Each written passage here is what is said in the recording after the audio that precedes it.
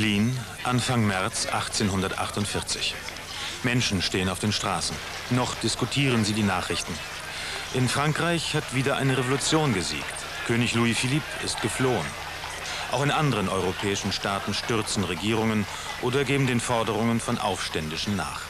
Unter den Augen der Obrigkeit und zum Schrecken manchen Bürgers wird Sympathie, ja Begeisterung für den Umsturz in Frankreich laut. Ohne behördliche Genehmigung finden im Tiergarten politische Versammlungen statt. Petitionen an den König werden verabschiedet.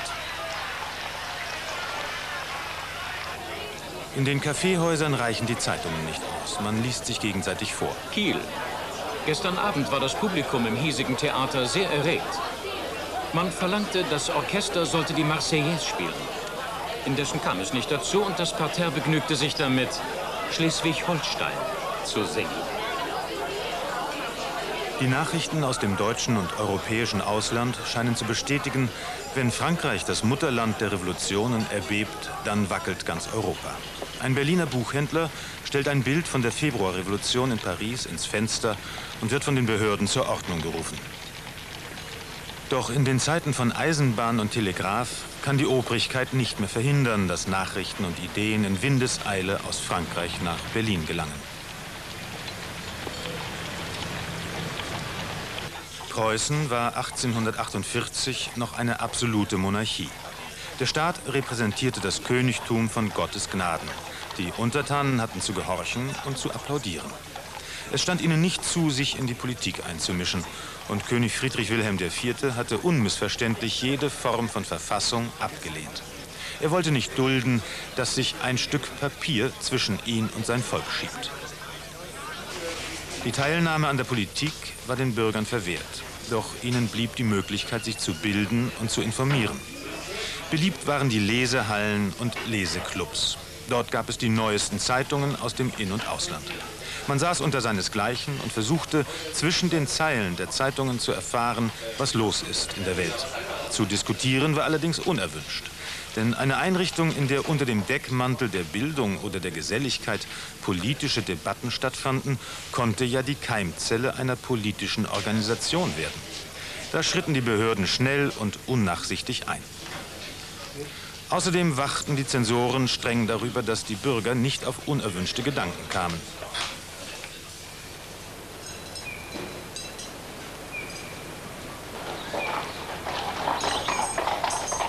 Mehr als 30 Jahre dauerte schon der politische Stillstand in Berlin.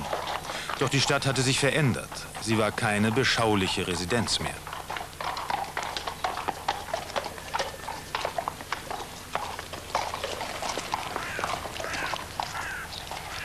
Seit Beginn des Jahrhunderts hatte sich die Bevölkerungszahl Berlins verdoppelt. Mehr als 400.000 Menschen lebten jetzt in der Stadt.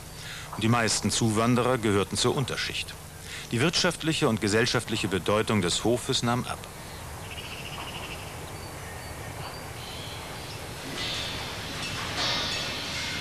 Es gab Fabriken in Berlin, vor allem textilverarbeitende Betriebe. Die Maschinenbauunternehmen beschäftigten Anfang des Jahres 1848 3.000 bis 4.000 Menschen. Fast 2.000 davon arbeiteten bei den Großbetrieben Borsig und Egels.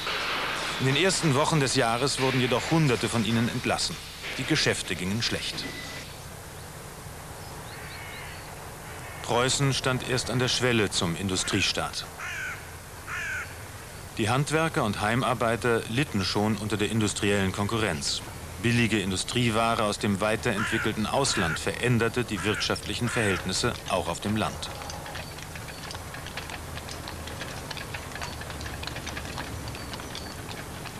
Missernten, der Strukturwandel und eine Konjunkturkrise hatten sehr viele Menschen in bittere Armut gestürzt. Schon im Vorjahr war es in Berlin wegen der hohen Lebensmittelpreise zu einer kleinen Kartoffelrevolte gekommen. Jetzt stehen sich wieder Volk und Militär gegenüber. Immer mehr Soldaten werden in die Stadt gezogen. Ansammlungen auf der Straße werden rigoros auseinandergetrieben. Karl Gutzko bemerkt, die tägliche Aufstellung des kampfbereiten Militärs weckte, bei dem ohnehin necksüchtigen Charakter der Berliner, den Kitzel des Widerstands. Nun kam die Kunde, dass hier und da ein Stein jemand an den Kopf geflogen, ein Säbelhieb tödlich gewesen. Der ehemalige Diplomat Karl August Farnhagen von Ense notiert, Fast scheint es so, die Behörden haben eine wahre Ungeduld, ihre Übermacht tatsächlich zu erhärten. Man wünscht, es möchte nur schon zu blutigen Dingen gekommen sein. Auch in Wien hat inzwischen die Revolution gesiegt. Da entschließt sich der König, ein Pressegesetz zu erlassen und den Landtag einzuberufen. Dieses halbherzige Zugeständnis wird am 18. März durch Plakate bekannt gegeben. Volk sammelt sich vor dem Schloss, die Stimmung schwankt zwischen Protest und Huldigung. Manche verlangen den Abzug des Militärs. Plötzlich fallen Schüsse. Soldaten stürmen auf die Menge los.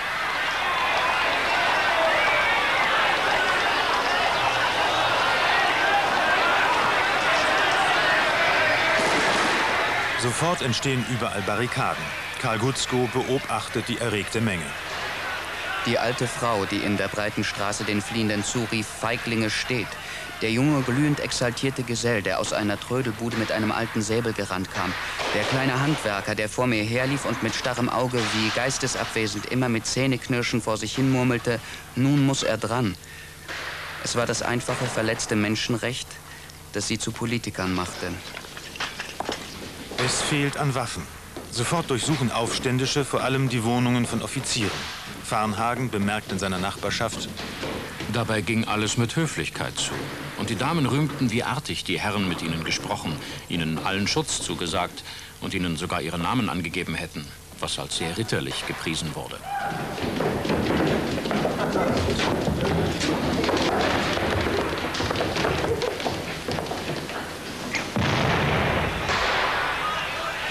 Draußen wird erbittert gekämpft. Die Soldaten stoßen auf immer mehr Widerstand.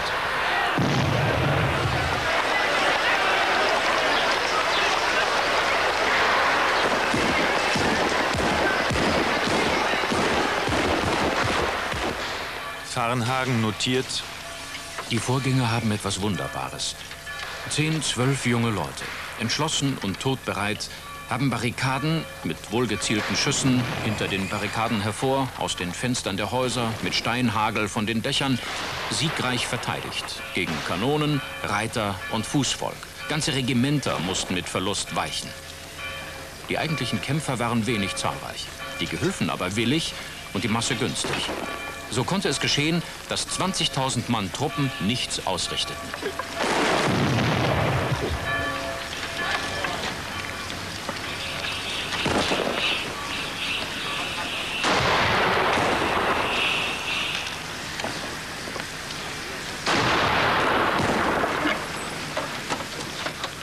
Je länger der Kampf sich hinzieht, desto mehr schlägt er zum Vorteil der Aufständischen aus. Sie gießen ihre Kugeln direkt hinter den Barrikaden aus den Bleifassungen von Fenstern. Sie erhalten Essen, Kaffee und Brandwein von den Bewohnern der umliegenden Häuser. Die Soldaten sind schon mehrere Tage im Einsatz und übermüdet. Sie haben lange keine Verpflegung mehr erhalten. Die Munition geht ihnen aus. Erste Gerüchte machen die Runde, Einheiten hätten den Kampf verweigert oder seien übergelaufen.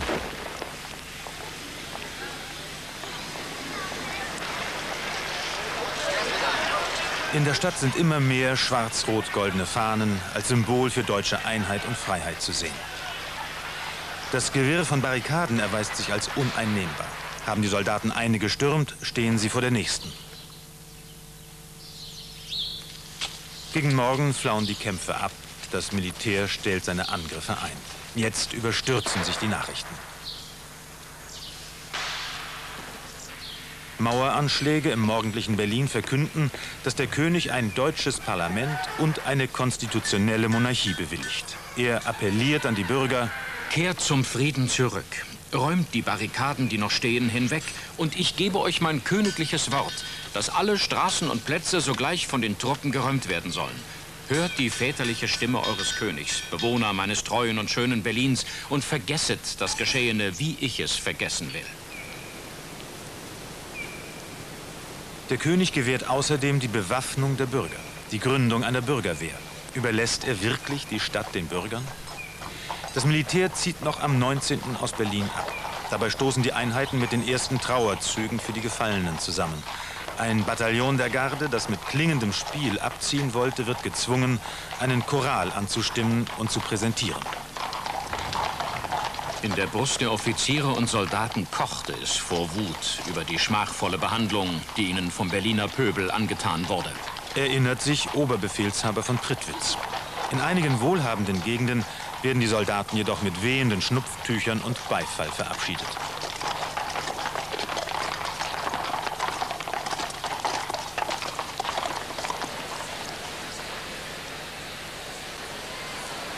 Währenddessen erreichen die Leichenzüge das Schloss. Immer noch mehr Tote werden gebracht. Der König muss auf dem Balkon erscheinen. Und dann erschallt der Ruf. Mütze ab! Mütze ab! Friedrich Wilhelm nimmt seine Kopfbedeckung ab. Er empfindet das als eine tiefe Entwürdigung. Und für manche konservative Kreise ist seitdem die Ehre des Königs besudelt. Ganz anders empfinden das viele in der Bevölkerung. Die Ehrung für die Opfer der Kämpfe verstehen sie als Beginn einer Versöhnung zwischen Krone und Volk. Und der König versucht den Eindruck zu bestärken, dass er mit seinem Volk einig sei. Am nächsten Tag, dem 20. März, reitet Friedrich Wilhelm demonstrativ mit der schwarz-rot-goldenen Fahne durch die Stadt. Tags darauf werden die Märzgefallenen im Friedrichshain beerdigt. Alle Vereinigungen und Honoratioren der Stadt nehmen teil. 200.000 Menschen sollen den Trauerzug gesäumt haben, die Hälfte der Berliner Einwohnerschaft.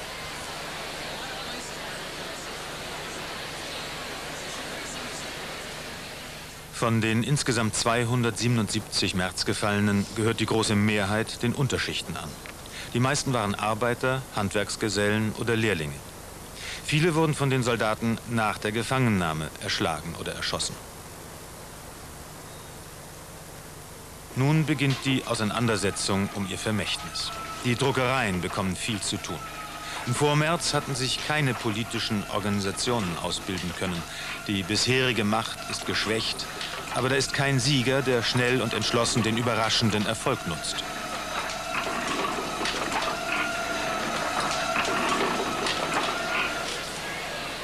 Die unterschiedlichen politischen Richtungen und die führenden Personen müssen sich erst noch herausbilden.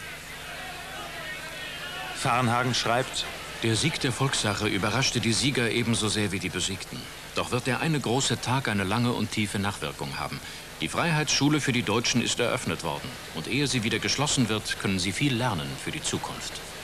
Die vermeintliche Einigkeit zerbricht schnell. Anhänger der Republik stehen gegen liberale und gemäßigt konstitutionelle Monarchisten. Eine Unzahl politischer Clubs und Vereine entsteht. Die Stadt ist übersät mit Flugschriften und Plakaten.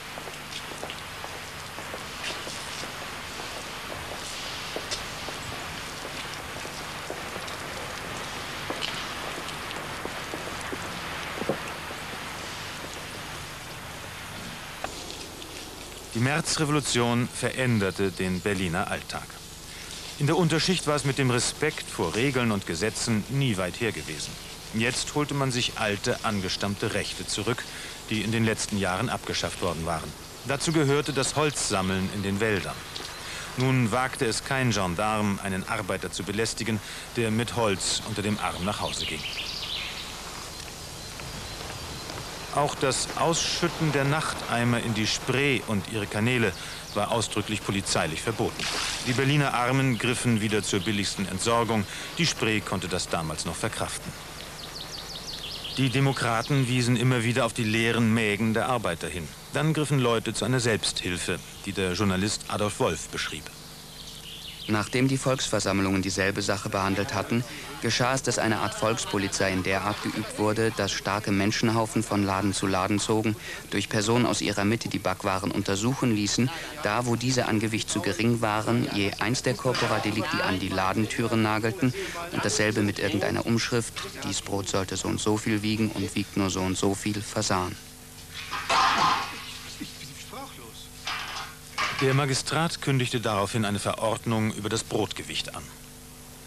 Im Bürgertum ging die Ära biedermeierlicher Zurückgezogenheit und Innerlichkeit zu Ende. Die Männer traten ins öffentliche Leben. Und zum ersten Mal erlebten sie sich selbst nicht als Untertanen, sondern als Citoyen, als gleichberechtigte Staatsbürger. Zeitgenössische Vorher-Nachher-Bilder beklagten, dass politisierende Männer ihre familiären Pflichten vernachlässigten. Die Klage war nicht ganz grundlos. Die Familie gehörte in den privaten Bereich und der politisch aktive Mann widmete seine Zeit einer Tätigkeit, mit der Frau und Kinder nichts zu tun hatten. Denn Politik sahen damals auch fortschrittliche Demokraten als reine Männersache. Dass Frauen sich politisch betätigen könnten, war allenfalls ein Thema für Karikaturisten. Das Auftreten und die Kleidung wurden legerer in den revolutionären Zeiten. Man gewöhnte sich daran, auf Versammlungen und in Clubs freiweg zu reden. Und in Berlin brachte die Revolution noch eine ganz besondere Freiheit mit sich. Zu den vielen teilweise absurden Verboten, mit denen die Obrigkeit ihre Untertanen belästigt hatte, gehörte auch das polizeiliche Verbot, auf der Straße zu rauchen. Nun ließen die Berliner die Zigarre nicht mehr ausgehen.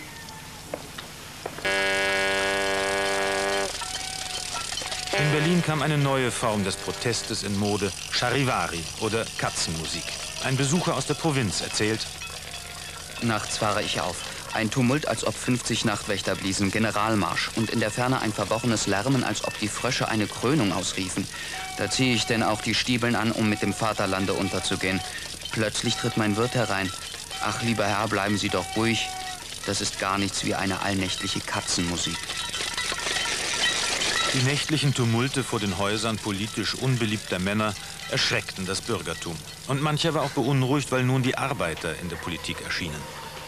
Bis dahin hatten sich nur karitative Organisationen und Bildungsvereine um die Belange des Proletariats gekümmert. Jetzt wurde das Berliner Zentralkomitee der Arbeiter gegründet, aus dem im selben Jahr die deutschlandweite Arbeiterverbrüderung entstand. Das war der Beginn einer eigenständigen Arbeiterbewegung in Deutschland. Präsident des Zentralkomitees war der Schriftsetzer Stefan Born. Mitglied im Bund der Kommunisten. Das Zentralkomitee hielt sich politisch eher neutral. Es trat gemeinsam mit dem Wirtschaftsbürgertum für Gewerbefreiheit und den Fall von Zollgrenzen ein und verstand sich vor allem als gewerkschaftliche Interessenvertretung.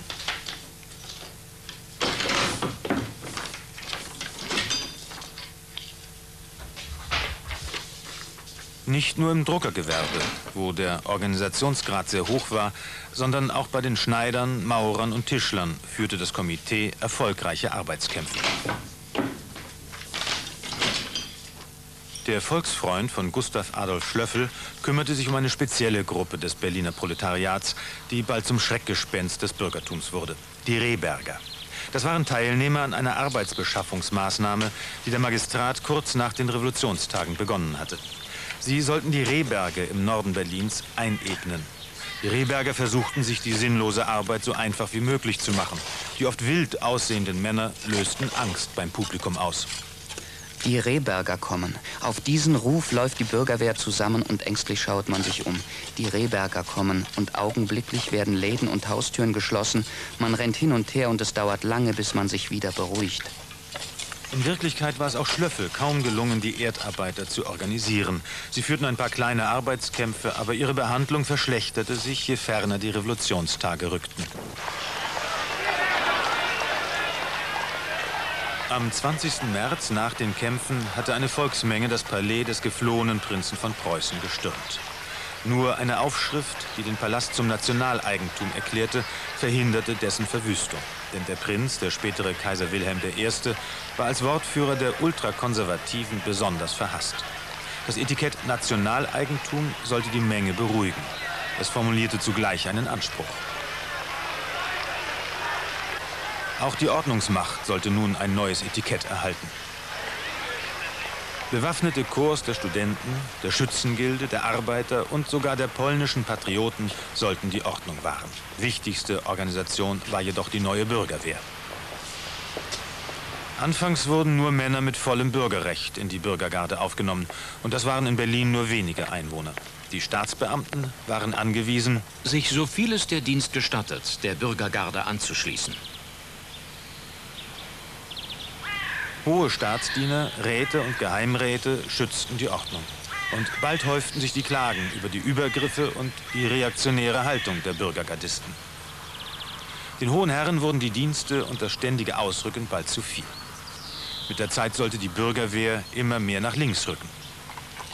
Noch im März wagte es der König, erste Truppeneinheiten zurückzurufen. Gustav Julius schrieb in der Zeitungshalle, und daher können wir kein Militär wieder aufnehmen, ehe es nicht dem Volk verpflichtet ist. Und die Bürgschaft bietet, dass es nie mehr vermöge des ihm geleisteten Eides als Werkzeug gegen das Volk gebraucht werden könnte.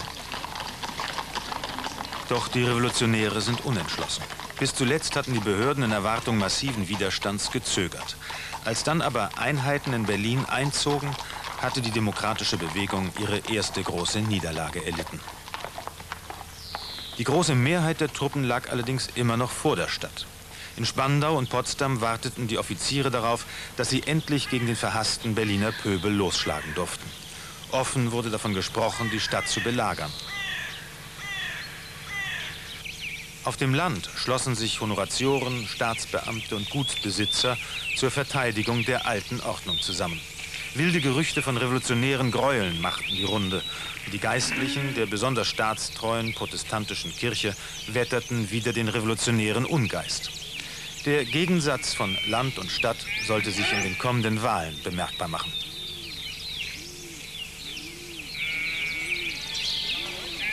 Das frühlingshafte Berlin war im Wahlfieber.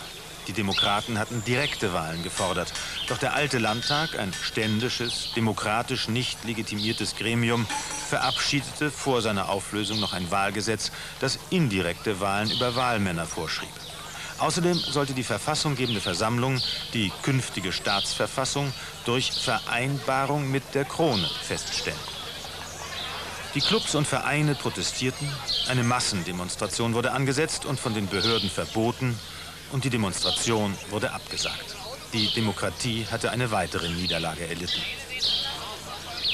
Am 1. Mai wurden die Abgeordneten der preußischen und der deutschen Nationalversammlung nach einem Wahlrecht gewählt, das gemäßigte Honoratioren begünstigte. Zu alledem kehrte trotz aller Proteste der verhasste Prinz von Preußen wieder aus dem englischen Exil zurück.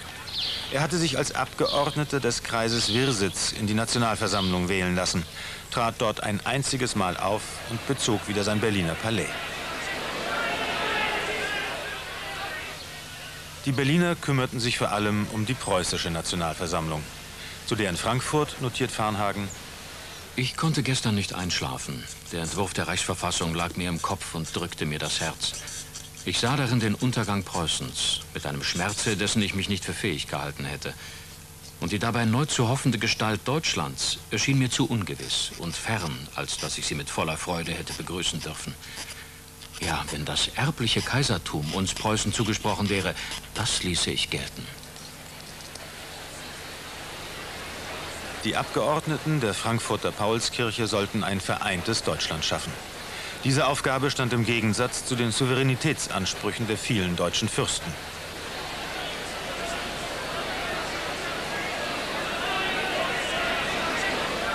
Am 6. August zieht eine Demonstration gegen die deutsche Kleinstaaterei und für die Einheit zum Kreuzberg.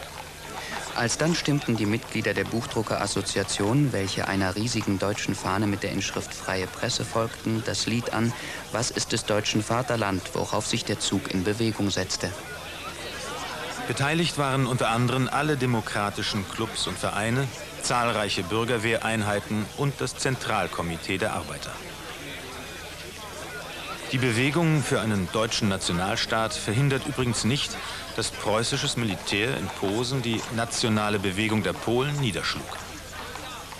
Schritt für Schritt wurden die Errungenschaften der Revolution wieder zurückgenommen. Der Polizeipräsident verfügte einen Erlass gegen das wilde Plakatieren. Schlöffel, der Fürsprecher der Rehberger, war bereits im April zu Festungshaft verurteilt worden. Aber noch musste mit Prügeln rechnen, wer sich mit der schwarz-weißen Preußenkokarde auf die Straße wagte. Doch das Schreckgespenst der Revolution verblasste. Preußische Konservative traten auch in Berlin wieder auf. Die verfassunggebende Versammlung beschäftigte die Clubs und Stammtische in der Stadt. Man schrieb Petitionen und gab Erklärungen ab. Wichtigster Streitpunkt war das Selbstverständnis des Parlaments. Würde es die Revolution anerkennen und sich damit als verfassunggebende Versammlung aus eigenem revolutionärem Recht verstehen? Riesige Mengen an Papier gingen ständig bei der Nationalversammlung ein. Das Parlament verabschiedete am 9. Juni die Formulierung Die Märzereignisse, denen wir in Verbindung mit der königlichen Zustimmung den gegenwärtigen staatsrechtlichen Zustand verdanken. Eine Großdemonstration zum Friedrichshain, bei der trotz Verbots viele Bürgerwehreinheiten teilgenommen hatten, hatte die Abgeordneten nicht umstimmen können. Eine Gruppe von Demokraten beschuldigte das Parlament des Verrats. Und Stefan Born höhnte, Ach, warum können wir nicht eine königlich-preußische Revolution machen mit dem Willen und der Genehmigung der Regierung?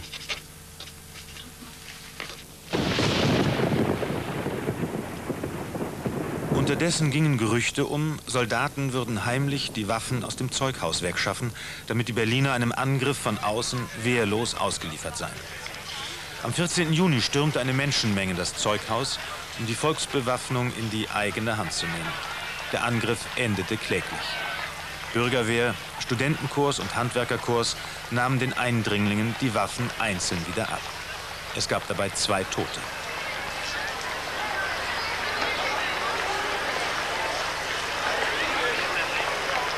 Ein biederer Bürger dementierte am nächsten Tag per Plakat, dass er geschossen hätte.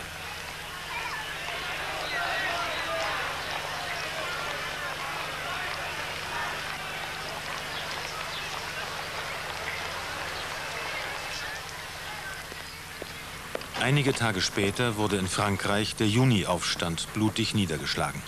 In der eben erkämpften Republik war die Reaktion an der Macht. Und in Berlin rüstete der Magistrat eine neue Polizeitruppe aus, die Konstabler, die sich schnell durch ihr provokatives und brutales Auftreten verhasst machten.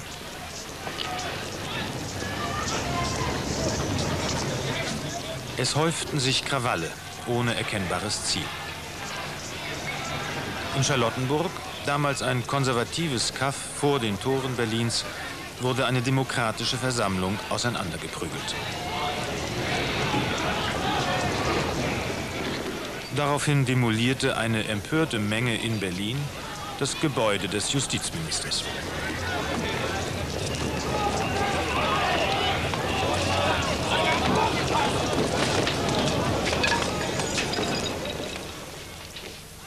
Doch im September geschah etwas für Preußen Unerhörtes. Soldaten revoltierten. Einheiten in Potsdam hatten eine Petition unterzeichnet, in der reaktionäre Offiziere aufgefordert wurden, ihren Abschied zu nehmen. Als die Anführer in Arrest genommen wurden, zogen die Soldaten in die Stadt, um ihre Kameraden zu befreien, verbrüderten sich mit den Bürgern und ließen sich auf eine heftige Auseinandersetzung mit herbeigeeilten Garde du Corps-Einheiten ein.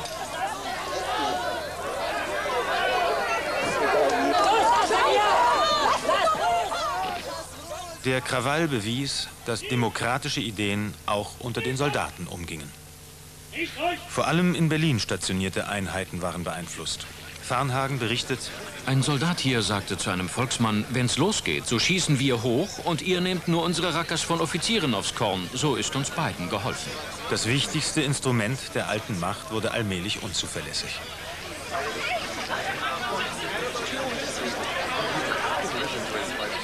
Konflikte aber auch auf der anderen Seite. Im Oktober erschoss Bürgerwehr bei einem Arbeitskampf neun Erdarbeiter. Der Demokratische Club protestierte dagegen.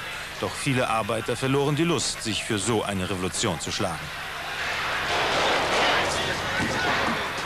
Am 31. Oktober kommt es zu einer Sturmpetition an die Nationalversammlung.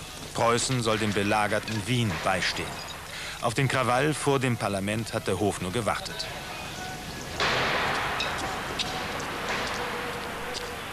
Der König befiehlt, angeblich zum Schutz der Abgeordneten, den Umzug der Nationalversammlung in die Stadt Brandenburg. Die Parlamentarier weigern sich, Berlin zu verlassen.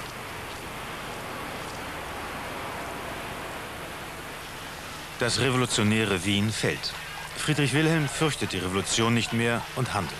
Er erklärt die Nationalversammlung für ungesetzlich und die Bürgerwehr für aufgelöst. Truppen marschieren in Berlin ein, Kommandeur von Wrangel verhängt den Belagerungszustand.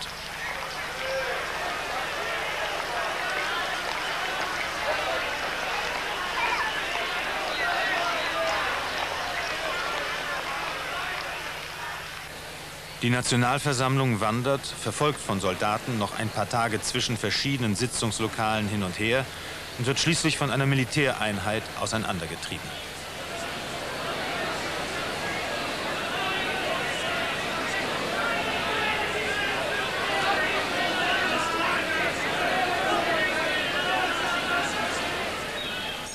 Es gibt keinen Widerstand.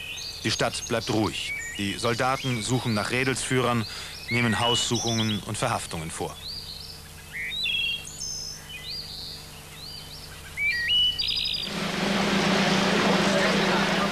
Die Bürgerwehrmänner müssen ihre Waffen abgeben.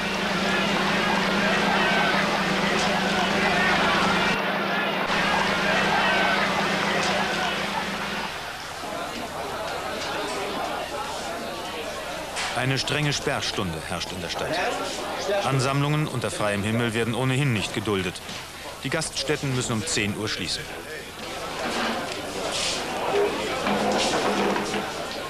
Vor allem in den Lokalen für das niedere Volk achtet die Obrigkeit streng auf Einhaltung der Sperrstunde. Der preußische Untertan muss alle seine demokratischen Errungenschaften von sich geben. Preußische Truppen helfen mit, die Reste der Revolution in Deutschland zu beseitigen.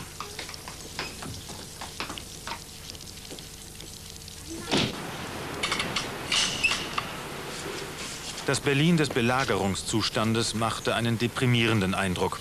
Das öffentliche Leben war erloschen. Die Tore sind offen. Die Straßen sind frei. Aber man hat dennoch das Gefühl, sich in einem Gefängnis zu befinden.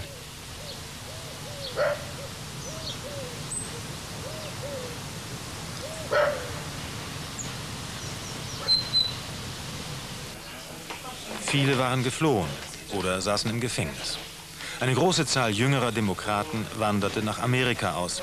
Die daheimgebliebenen zogen sich in private Zirkel zurück.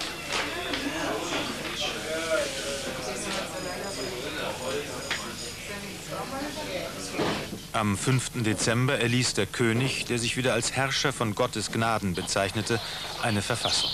Wichtige Bürgerrechte waren darin festgeschrieben und gleichzeitig alle Möglichkeiten offen gelassen, sie zu missachten. Während der nächsten Jahre wurden alle demokratischen Bestrebungen konsequent verfolgt und unterbunden. Der altersweise Farnhagen schreibt, Diese Zeit sieht für die Freiheit düster aus. Die nächste wird wahrscheinlich noch dunkler sein. Schadet nicht. Es wird doch wieder hell werden. Was habe ich nicht schon erlebt? Genug der Hoffnungen. Frisch drauf los. Die Geschichte gehe weiter. Es blieb lange dunkel. Als Folge der Niederlage arrangierten sich in den nächsten 100 Jahren große Teile des deutschen Bürgertums mit der preußischen Mischung aus Patriotismus und Obrigkeitsstaat. Und dennoch war 1848 der Anfang der Demokratie. Die Clubs, Vereine und Vereinigungen waren die Urform der Parteien und der Arbeiterorganisationen. Es blieb die Erfahrung, dass Mächtige gestürzt werden können und die Freiheit, auf Berlins Straßen zu rauchen.